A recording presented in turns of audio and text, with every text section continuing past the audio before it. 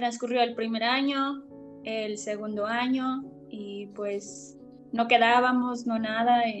Un familiar nos recomendó un ginecólogo, me hicieron estudios y me diagnosticaron endometriosis en una etapa 3.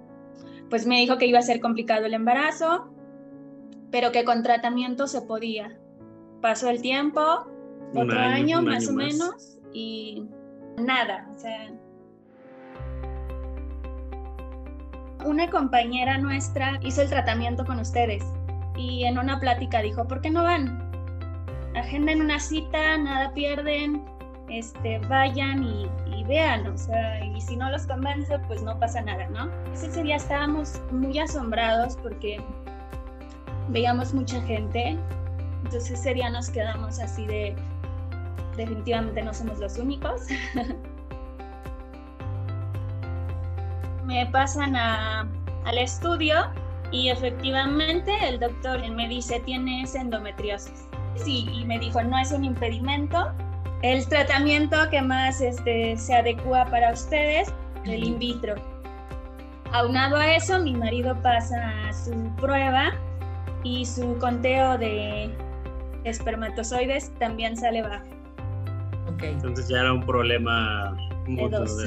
Pagamos solo un intento la verdad es que teníamos mucho miedo porque dijimos, si no quedó, ¿qué vamos a hacer? Pero peor era no intentar.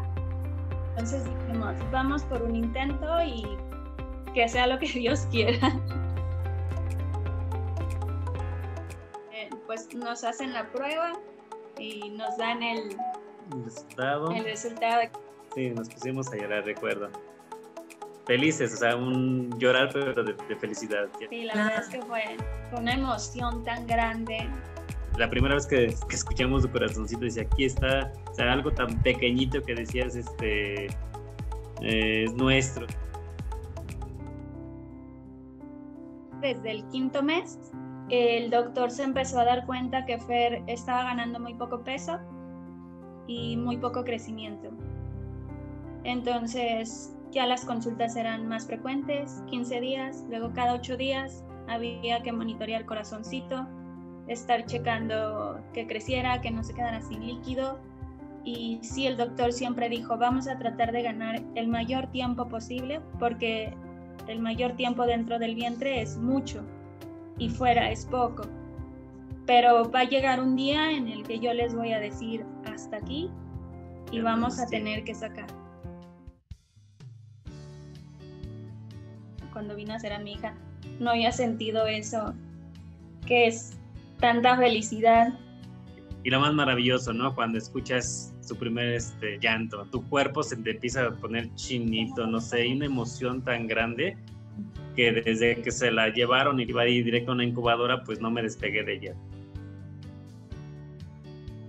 El dinero no es impedimento. No hay mejor alegría que tener un hijo en brazos